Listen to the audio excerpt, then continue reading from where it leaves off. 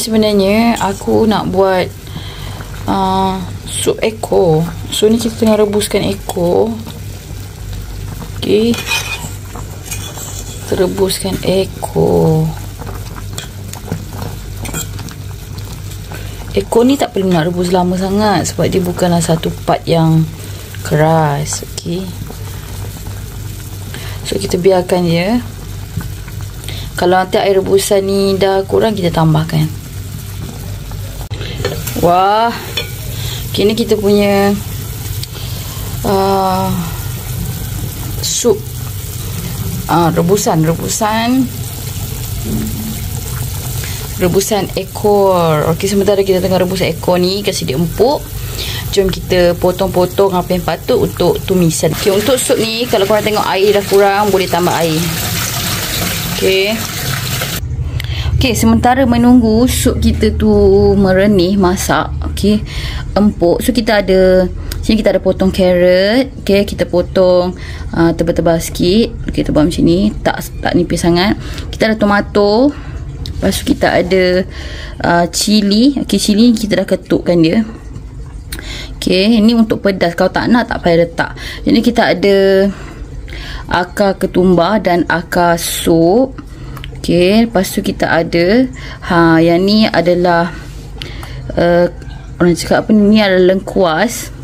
Yang ni adalah bawang putih, yang ni adalah halia dan ini adalah uh, serai yang kita tumbuk. Ini dua batang lah. Okey, yang ni adalah bahannya dan yang ni adalah daun ketumbar campuran daun sup. Okey, untuk kita tabur lepas sup kita dah masak nanti. Okay, kali ni kita buat sup ala-ala Thai tapi version uh, hantam sajalah. Okay, untuk yang ni optional. Yang ni adalah bawang putih dan bawang merah. Bawang putih 4 biji. Bawang merah kita guna 2 biji. Kita blend kan. Uh, yang ni optional untuk memekatkan kuah sup tu dia akan rasa manis. Manis bawang tu kan. Kalau tak nak pun tak apa. Okay, yang ni. Okay, sup tengah merenih. Jadi kita prepare untuk bahan uh, tumisan dia. Okey bahan tumisan okey sebenarnya kena buat dalam periuk lain tapi saya lebih suka guna dalam kuali untuk menumis. Nanti kita masukkan dalam periuk yang kita tengah renih tulang ataupun ekor tadi. Okey, untuk bahan tumisan uh, kita ada rempah sup tulang, sup bunjut. So yang ni dia ada spice kat dalam dia senang lah kita basuh. Dan kita boleh masukkan sekali dengan tumisan bawang putih, bawang merah, uh, serai tu semua, okey panaskan minyak dulu.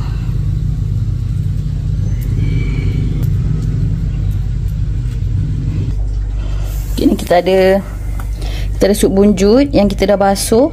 Sebenarnya rempah-rempah empat sekawan okey? So kita boleh menumis sekarang.